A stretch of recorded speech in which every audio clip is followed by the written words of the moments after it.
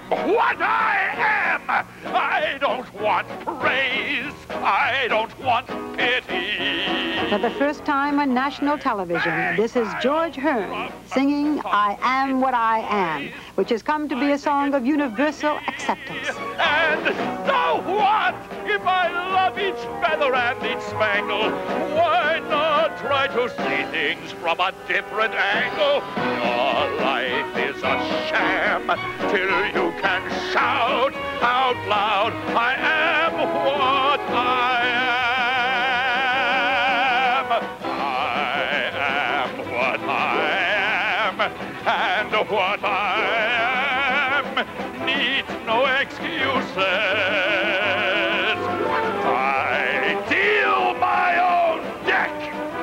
Sometimes the ace, sometimes the deuces.